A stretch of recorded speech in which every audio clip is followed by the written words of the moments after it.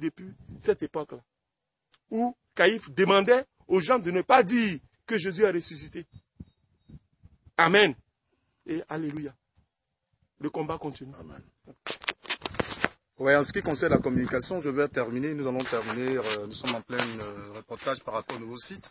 Parce que je disais comme ça que la semaine passée, nous étions en train de faire le bilan de nos activités dans, le, dans le, la région de l'Or-du-Bois, dans le département de Divo, et précisément à Iré. Et quand on parle de l'Or-du-Bois, le, le, département, la grande ville, c'est Divo. Voilà, c'est Divo. Et où il y a de, notre quartier général, c'est-à-dire que c'est ici, à partir d'ici. Tout est. Grémia Kongbakro. Voilà, Grémia Kongbakro. Donc, euh, si on a fini avec euh, le village, il faudrait maintenant attaquer la grande ville parce qu'il fallait commencer par le village, un village, parce que pour lancer un message fort, pour dire que nous ne sommes pas des gens qui se mettent comme ça à parler, nous sommes aussi un modèle, parce que pour nous, la sorcellerie, quand les gens parlent du village, ils voient déjà la sorcellerie dans un village. Donc il fallait vraiment euh, occuper un village selon l'inspiration que Dieu nous avait donné, la vision, donc Zaroko. Mais en même temps, Zaroko devient un centre de prière pour des malades.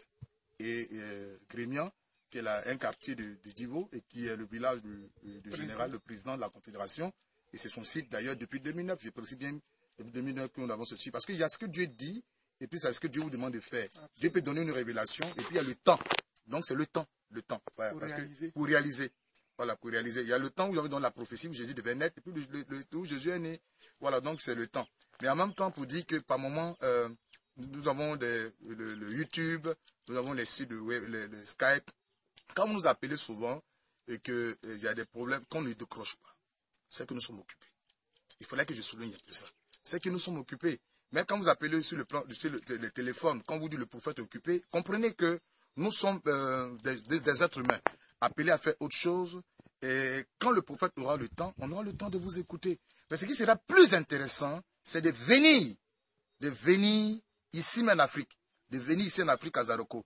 Parce que j'ai constaté après expérience, hein, parce y, a beaucoup d'années d'expérience dans cette histoire, depuis 2006, j'ai constaté que c'est vrai que même au téléphone, nous avons aidé des gens comme euh, euh, la maman de, de, la femme d'un footballeur, dont je ne dirai pas le nom, sur le Skype, j'ai prié pour elle, elle a été guérie.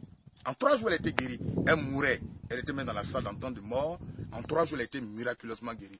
Et malheureusement que ce ministère, je dis malheureusement parce que nous vivons trop d'ingratitude. C'est un ministère où les gens sont très ingrats. Les gens que vous avez aidés aujourd'hui, c'est les mêmes gars qui se lèvent devant vous contre vous demain. La preuve, c'est que Jésus est un modèle. Les mêmes qu'on dit Jésus, bénissez Jésus, on dit crucifiez-le, crucifiez-le. Donc pour moi, euh, mais faut comprendre que le combat continue. Nous le faisons avec passion. Vous voyez que le président parle, c'est avec passion. Parce si ce n'était pas passion, nous allons nous décourager aujourd'hui? Parce qu'il y a pas mal de personnes que nous avons aidées qui, ne pensent même plus à soutenir le ministère. Ils viennent juste pour un besoin. Pour dire aujourd'hui, si vous constatez que le prophète que je suis, je ne réponds pas à un coup de fil téléphonique ou bien Skype, faut comprendre que le prophète est occupé. Quand il sera libre, il va vous prendre. Et quand le secrétariat vous dit, euh, rappelez le prophète, comprenez ça. Vraiment, il faut comprendre que c'est vous qui doit nous faciliter la tâche. Et si vous voulez vraiment être aidé, ben venez en Afrique. Venez pour que nous puissions vous aider. Il fallait que je vraiment je souligne tout ça. Mais le combat, il continue, c'est avec passion. Je suis prêt au prix de ma vie à donner ma vie pour que des personnes soient sauvées, comme a fait Jésus-Christ. Au prix de ma vie, au prix de ma vie, les disciples ont été emprisonnés, Jésus a été emprisonné, l'apôtre Paul a été emprisonné, Pierre a connu la prison. Mais pour donner la vie humaine n'a pas de prix.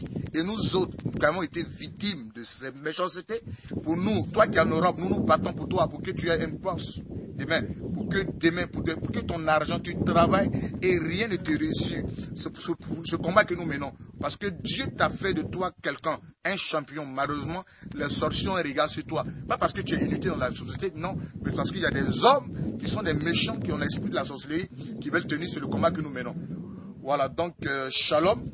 Tant qu'il y aura des gens comme nous, moi, il dit tant qu'il y aura encore des vies à sauver, je serai toujours prêt à répondre à ce besoin. Oui, parce qu'il faut que les gens vivent librement, laissez-les tranquilles, laissez les gens vivre. Ils ont besoin de vivre. Ils, ont, ils souffrent, ils souffrent. Laissez-les vivre la vie.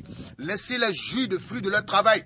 Vous me trouverez sur vos chemins. Tant qu'il y aura ces bandits et les criminels spirituels mourrez sur vos chemins. Shalom, je suis le prophète Joël Crasso, le maréchal de la brigade en sens.